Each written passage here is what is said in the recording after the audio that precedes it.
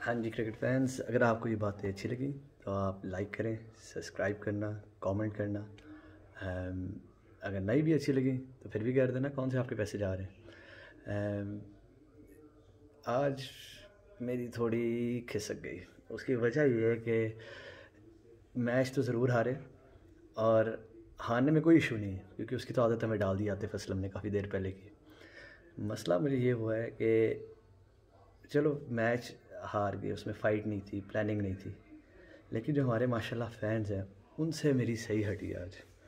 माशाल्लाह हम स्टार्ट होते हैं कि पहले मैच में जहाँ हफीज़ ने ज़ीरो किया, सारी फ़ैन फॉलोइंग या काफ़ी हद तक फ़ैन फॉलोइंग ये कह रही थी, चालीस साल का बाबा खेल रहा है, इसे बाहर निकालो, आगे बढ़ना चाहिए एक्सपीरियंस के लिए।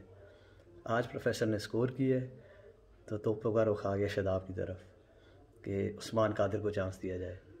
किसी और की तरफ़ जाया जाए। और माशाल्लाह उन फैंस को तो मेरा सलूट है, जो कहते हैं कि वापस हमें अकमल की तरफ़ जाना चाहिए, कामरान अकमल की तरफ़ देखना चाहिए, उमर अकमल की तरफ़ देखना चाहिए, अहमद शहजाद की तरफ़ देखना चाहिए। और भाई, आगे भी बढ़ो, अकमलों से आगे भी ज़िंदगी है। तो अब डाइसेक्ट करते हैं आज की परफॉर्मेंस को कि हुआ क्या। मुझे ज़्यादा इशू सिर्फ़ हारने का नहीं है, मुझे ज़्यादा इशू ये है कि पाकिस्तान की करंट टीम में एक क्लैरिटी ऑफ़ थाट नहीं है। एक रोल्स और रिस्पॉन्सिबिलिटी की कोई जगह नहीं नए लड़के आपने चांस लिया नो डाउट, कोई इशू नहीं। अगर उन पर चांस लिए तो उनके लिए एक डिफ़ाइन करें कि उनका रोल है क्या। अगर अब्दुल्ला शफीक ने वन डाउन खेलना या ओपन खेलना। और सिक्स ओवर्स में पावर प्ले में स्कोर कितना करना है। अगर सिक्सटी पे जाना है तो फिर हालत हमारी सिक्सटी वाली करने वाली नहीं है सिक्स ओवर्स में। क्योंकि साठ, पचास, साठ स्कोर करने के लिए आपको पावर हिटिंग चाहिए होती है पावर प्ले में। और रिजवान का जो स्ट्राइक रेट है रेट है, वो अंडर हंड्रेड होगा, यकीनन।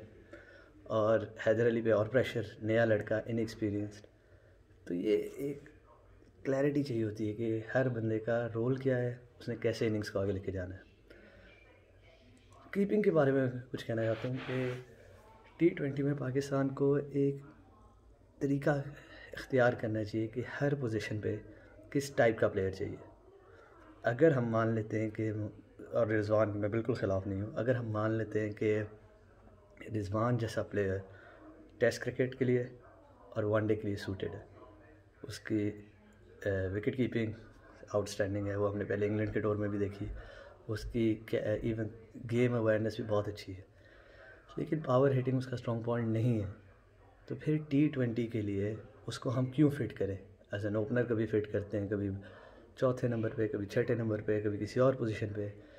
तो बेहतर नहीं है कि डाइवर्जन लें अब अंडरस्टैंड करें कि कीपिंग में या हमें चाहिए एक प्लेयर आज़म खान टाइप जो कि उसकी भी मैं हमायत नहीं कर रहा क्योंकि उसकी भी फ़िटनेस का भी अल्लाह माशाल्लाह या हैदर अली से कीपिंग करा लें। या सर्किट में देखें कि किस टाइप का हमें कीपर चाहिए और उसको फिट करें, बजाय कि उनको अकोमोडेट करने के जो हमारा करंट लॉट है। और जहाँ तक नए लड़कों की चांस की बात है और उस पर काफ़ी क्रिटिसिज्म है अब इन लड़कों को अगर चांस दिए इनको आगे लेके जाना चाहिए। इनको कंसिस्टेंटली ट्राई करना चाहिए, इनमें इन्वेस्ट करना चाहिए। फिर ये पे बैक करेंगे। आपने एक टफ़ सीरीज़ यंगस्टर्स को खिला दी है, इनके लिए एक डेवलपमेंट अपॉर्चुनिटीज़ है, वो बिल्कुल ठीक है, कोई इशू नहीं। लेकिन अब इनको ड्रॉप करना, अब अब्दुल्ला शफी का करियर ख़त्म करने वाली बात होगी। अगर अगले मैच में भी उसका स्कोर ज़्यादा ना हुआ तो फिर हमें अब्दुल्ला शफीक शायद कभी नज़र ही ना आए। हैदर अली का भी सेम कॉन्सेप्ट है। तो इन लड़कों को टाइम देना चाहिए कि ये लड़के अब हमें वर्ल्ड टी ट्वेंटी जितवाएँगे। और इनको ये कॉन्फिडेंस देना चाहिए कि चाहे जो मर्ज़ी स्कोर हो, अब पूरा साल या डेढ़ साल आप टीम के साथ जुड़े रहेंगे। अब आते हैं थोड़ा बॉलिंग की तरफ़ भी। और बॉलिंग में मैं ज़्यादा क्रिटिसाइज इसलिए नहीं करना चाहता क्योंकि बॉलर्स भी हमारे यंग हैं। लेकिन वहाब रियाज माशाल्लाह, एक एक्सपीरियंसड इंडिविजुअल जिससे 2011 से उसकी रिस्क पोजीशन पे काम होता रहा। और हर क्रिकेट फ़ैन को और हर बंदे को ये पता है कि उसकी कंसिस्टेंसी कभी नहीं आएगी, क्योंकि उसकी अपनी डिस्पोजिशन का, उसे खुद कॉन्फिडेंस नहीं होता कि किस तरह का बॉल कहाँ पे करना है। तो जब वो कंसिस्टेंसी नहीं आ रही तो उस एक्सपीरियंस का हमने क्या करना है? जब उसकी अपने उस पर उसे अपनी परफॉर्मेंस पे कॉन्फिडेंस नहीं तो किधर क्या कहूँगा यार अब? इससे बेहतर है, उसकी जगह भी यंगस्टर ही खिला लो फिर। जहाँ उसने एक ओवर में अठारह या बीस खाने वो यंगस्टर ही खा ले, उसी से वो वही सीख लेगा कुछ। तो ये कुछ चीज़ें हमें फ़ौर दुरुस्त करने की ज़रूरत है। और अगर ये ना की तो बस रीबिल्डिंग चलता रहेगा चलता रहेगा। वर्ल्ड टी ट्वेंटी आ जाएगा, लेकिन पाकिस्तान रीबिल्ड कर रही होगी। अब जहाँ तक मैनेजमेंट का क्वेश्चन है मिसबा का नाम है हमायती हूँ, ना मैं फ़ैन हूँ, ना मैं वकार हूँ इसका एज अ कोच फ़ैन हूँ। नो डाउट उनकी बॉलिंग आउटस्टैंडिंग थी। अब इन पर जब ट्रस्ट किया है तो इनको हमें टारगेट देना चाहिए एज फैंस भी तसली रखनी चाहिए कि वर्ल्ड टी ट्वेंटी तक जो इंडिया में होना है, तब तक मिसबा के पास फ्री रेन है। उसमें डिलीवर करता तो ठीक, नहीं करता तो फिर आउट लेकिन हर मैच के बाद यार Misbah out Waqar out X out Y out हमारे में कोई, हमारे जज्बात पे कोई कंट्रोल नहीं है। कम अज़ कम एक स्कोप तो देना है एक बंदे को कि यार कोशिश कर लो डिलीवर करने की। अगर नहीं होगा तो फिर उसकी अकाउंटेबिलिटी होगी। तो मेरे हिसाब से अभी मिसबा को इतना टाइम नहीं मिला कि अपने प्लान्स को इम्प्लीमेंट करें। काफ़ी चीज़ें जो उसने कोशिश की हैं, वो बैकफायर की हैं नो डाउट काफ़ी चीज़ें जो उसने ट्राई की हैं, वो उसके अगेंस्ट की हैं। लेकिन उसको रेक्टिफाई करने के लिए भी उसको अपॉर्चुनिटी देनी चाहिए।